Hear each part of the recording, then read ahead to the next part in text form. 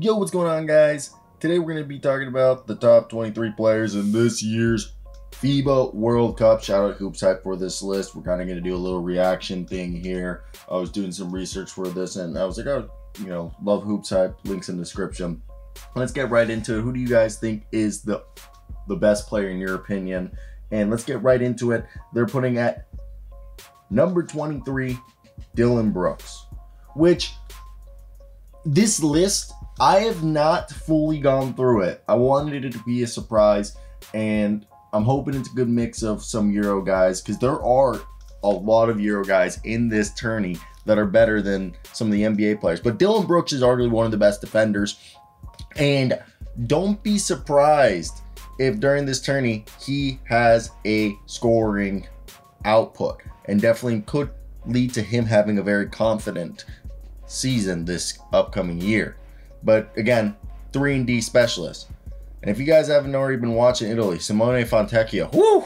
Guess where he's from? Pescara. Guess where my father's from? Pescara, Italy. Okay, this guy's from my family's hometown. Put on a shooting ex exhibition in Italy's first game, and he's kind of their superstar at this point, like the best player on the Italian team.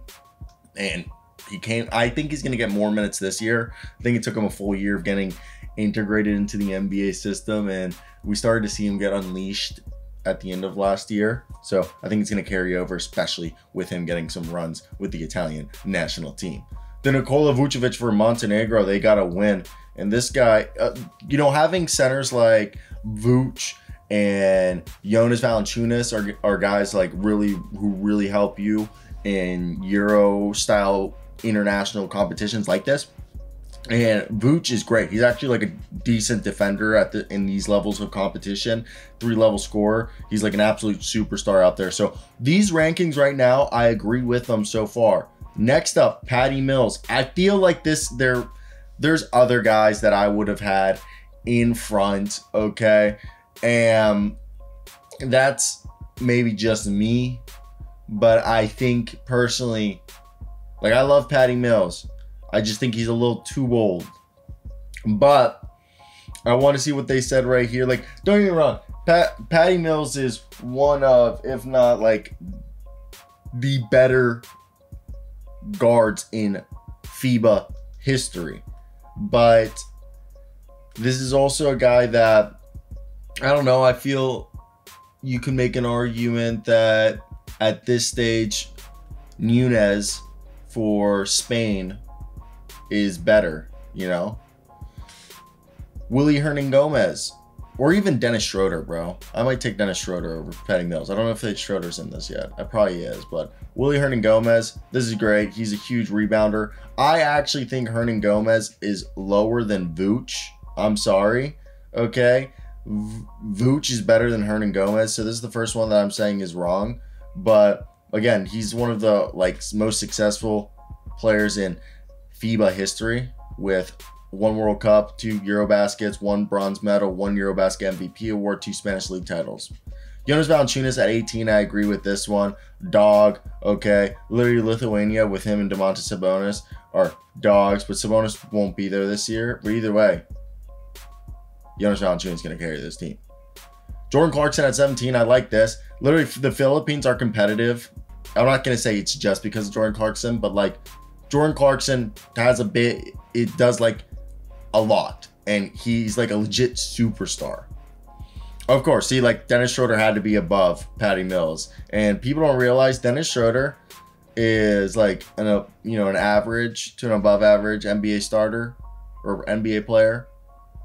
In FIBA standards, he's like a superstar. He's like one of the best players in the world on like the international stage. Like Dennis Schroeder takes his game to another level. I'm not even kidding, guys. It's it's actually like quite remarkable to to watch. Tyrese Halliburton. We, we can't argue there. We can't argue there. And I know everyone's gonna be like, well, he's the best player, okay? But like it's international basketball, so he really doesn't have any accolades to his name. So, but like that will change. Bogdan Bogdanovic, of course, baby. This guy, literally, this guy got to the NBA from what he was doing on an international stage. He he's literally, you know, the best player on Serbia with Jokic not playing. So I agree very much with this. RJ Barrett hasn't done much this tournament, but he is, on paper, one of the best players in this tourney as a complete two-way wing, probably one of the most athletic, strongest, could do everything, handle the rock, defend every position, should be like the MVP, arguably, if it's not Shai, obviously, okay, who should be the best player in this tournament. Rudy Gobert, we all know what he does. He blocks a lot. He's massive. It's Rudy Gobert, even though he had a terrible first game. But hey, he used to be one of the top players. Brandon Ingram, of course, baby. You gotta love him. He's playing, like they said, that Kevin Durant, Carmelo Anthony role. He's to be a dog for Team USA. Franz Wagner, he got hurt, but dude, we all know who he is. Franz Wagner is one of the best in the world, just 21 years old. He's going to continue to grow for this German team. Did you guys see Josh Giddey? He looked like an absolute animal out there for Australia, and Australia knows they got something special there. And they got Dante Exum and Josh Green and the other guys out there, but hey, definitely, like they said in this article, Best Young Player Award is probably going to be going to Josh Giddey. Mikal Bridges. I actually do agree that Mikal Bridges is probably the guy who's the the dog for Team USA over Brandon Ingram. He's like the complete player, gives you defense, spiritual leader, and stuff like that. I guess talent wise and stuff, Jaren Jackson's better. I would have this flip personally.